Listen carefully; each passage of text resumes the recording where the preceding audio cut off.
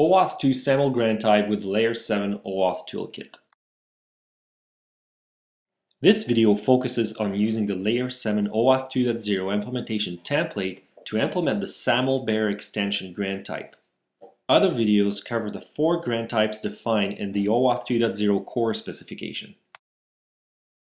If you haven't installed the OAuth 2 template implementation yet, follow the steps in the Getting Started guide. The OAuth 2 template implementation provides a list of policies to implement various aspects of the OAuth 2 implementation.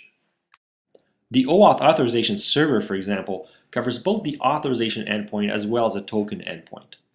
In the authorization server policy, you'll find a branch which handles each grant type supported by this template. You can opt out of grant types that do not apply to your APIs by commenting out these branches. The OAuth 2 authorization policy fragment is a policy fragment that validates an incoming OAuth access token for an incoming API request. You can attach this policy fragment to your own API policies. The template implementation provides an example of this pattern in the test service protected resource server.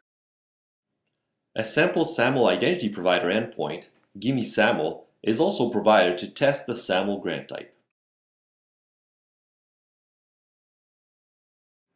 Finally, the OAuth 2 implementation comes with a set of client applications, one to test each supported grant type.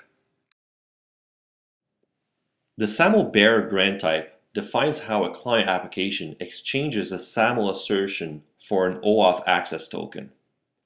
The specification does not define how the SAML assertion is obtained by the client in the first place.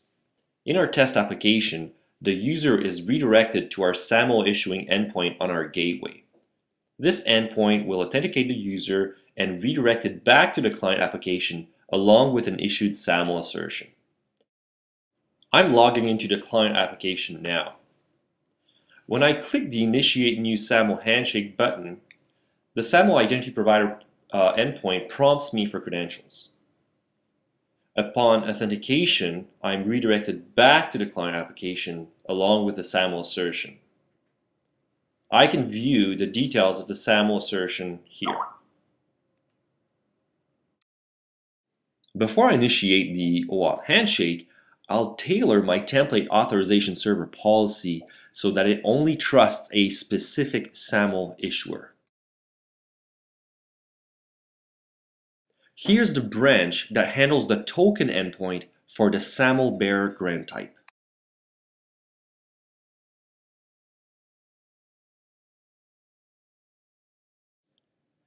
Here's the placeholder for me to insert which issuer I want to trust.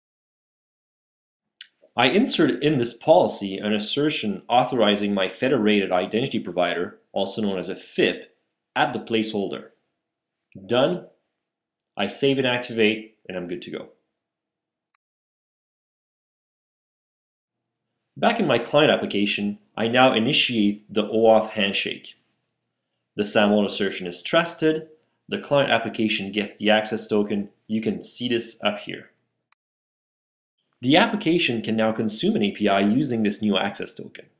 I triggered this here and now if you look back at the bottom of the client application, we see the result of the API call.